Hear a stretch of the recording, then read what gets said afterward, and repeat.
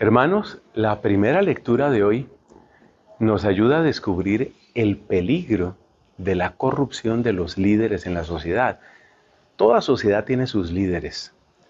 Efectivamente, nosotros, seres humanos, somos comunitarios por naturaleza y toda comunidad siempre requiere de líderes. En nuestra época, por ejemplo, pensaríamos en la gente que está en el gobierno o pensaríamos en quienes dirigen la opinión pública a través de redes sociales, medios de comunicación. Tal vez pensaríamos en el impacto que tienen las celebridades.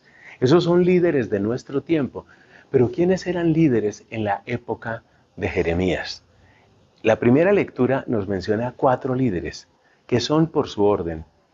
En primer lugar, los sacerdotes. Tengas en cuenta que el mismo Jeremías era de familia sacerdotal. En segundo lugar, los doctores de la ley. En tercer lugar, los pastores. Y en cuarto lugar, los profetas. Es decir, Dios le dio a su pueblo de distintas maneras, le dio esa figura tan importante de los líderes. El líder, el que va adelante, el que marca el paso, el que muestra lo que conviene, lo que no conviene, lo que se debe, lo que no se debe. Y no nos digamos mentiras, por mucho que se hable de autonomía y de la importancia de ser autónomos y pensar con la propia cabeza, la verdad es lo que hemos dicho antes, que nosotros los seres humanos somos gregarios y terminamos siguiendo. A mí me causa gracia, por ejemplo, cómo hay una cantidad de muchachos que se manifiestan absolutamente rebeldes en la casa, no, yo haré lo que se me dé la gana. Y luego resultan repitiendo lo que hace el cantante de moda, la celebridad de moda, el TikToker de moda, el influencer de moda. Somos gregarios, somos gregarios. Y por eso la corrupción de los líderes siempre arrastra tras de sí la corrupción de muchísima gente. Este es el gran peligro y hay que tener mucho cuidado con eso. Bueno, sobre esa base, hagámonos la siguiente pregunta. ¿Qué era lo que sucedía con esos líderes de ese tiempo y qué podría estar pasando en nuestra época. Hemos mencionado cuatro líderes de la época de Jeremías, los sacerdotes. ¿Y qué critica Jeremías de los sacerdotes, sabiéndose que él mismo era de familia sacerdotal? Dice, los sacerdotes no preguntan dónde está Dios. Los doctores de la ley no lo buscaban. Los pastores se rebelaron contra Dios.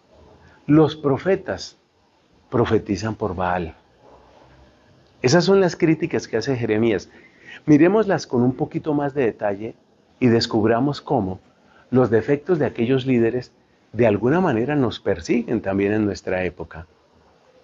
El sacerdote que no pregunta dónde está Dios es el sacerdote que olvida que todos los ritos que todos los sacramentos, que toda la catequesis, que toda la dirección espiritual, que toda su labor, finalmente se dirige al encuentro con Dios y al servicio de Dios. Al encuentro con Dios y al servicio de Dios. Observemos nada más lo que pasó muchos siglos después en la época de Cristo. Todos estos sacerdotes de la época de Cristo, ¿en qué estaban? Pues ellos estaban cuidando que todo estuviera en orden en el templo. No vaya a suceder que vengan los romanos y destruyan el lugar santo. Ellos estaban atentos al templo y al buen orden en el templo, pero se les olvidaba que el templo era un medio y no era un fin. Entonces el peligro del sacerdote es que se le olvide para qué es su servicio, cuál es su verdadera vocación. Y de lo que se trata es de llevar la gente a Dios. Y de lo que se trata es que Dios se haga presente en la vida de la gente. Entonces el sacerdote puede reducir su vocación, por ejemplo, a un servicio social, o lo puede reducir a un servicio académico, o lo puede reducir a un servicio incluso político. Pero se le olvida la conexión con Dios, que es lo más propio de su vocación. Miremos el caso de los doctores de la ley, es decir, la gente de estudio, la gente inteligente. ¿En qué falló según Jeremías? Pues fallaron en que dice, no me buscaban a mí, no me buscaban a mí. Tenían enfrente la palabra de Dios, pero no buscaban a Dios. Es muy parecido a lo que le sucedía a los sacerdotes. Así como el sacerdote se puede quedar simplemente en los ritos o en los medios sin llegar a los fines, también la gente de estudio se puede quedar en las opiniones de los distintos autores. Muchas personas que yo conozco que estudian teología, que estudian en facultades de teología de nuestro tiempo, se quejan de la falta de fe de sus propios profesores. Profesores que son felices citando a otros profesores y mostrándole a la gente que han estudiado muchísimo.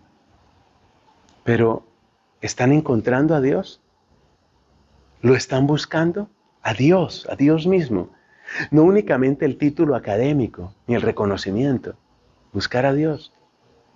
¿Y qué tal lo que sucede con los pastores? Los pastores que se les olvida ser ovejas y por eso se rebelan contra Dios.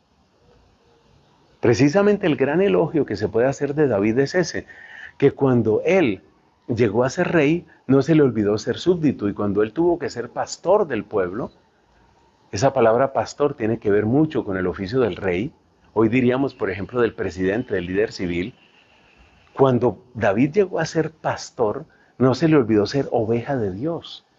Entonces hay el peligro de agarrar el poder y convertirlo en botín para mi corazón, olvidándome de quién soy y a quién le debo todo. Y luego mira a los profetas, los profetas que empiezan a profetizar por Baal. Y sabemos qué era lo que prometía Baal, qué era lo que prometían los falsos dioses. Prometían prosperidad, prometían seguridad, prometían fecundidad. Y esas son las promesas en las que se pueden quedar los profetas. Es decir, ahí es cuando se cambia al Dios verdadero por el Evangelio de la Prosperidad, por ejemplo, y se nos olvida predicar la cruz. Bueno, se podrían analizar tantas cosas, pero dejemos por ahí, solo quiero hacer ver que las denuncias de Jeremías son valientes, que se dirigen a los líderes de ese tiempo y que sus críticas tienen que ver bastante con lo que vivimos en nuestra época.